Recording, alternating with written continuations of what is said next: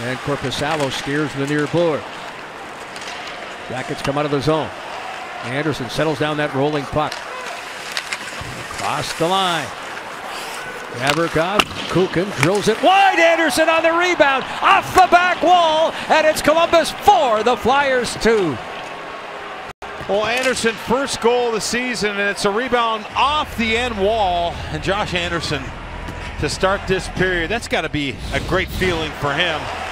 Anderson's got the speed in the neutral zone. He dumps that off, and then he's going to go to the net. And as that play develops, Kukan with a heavy shot. Anderson fights for position and gets rewarded.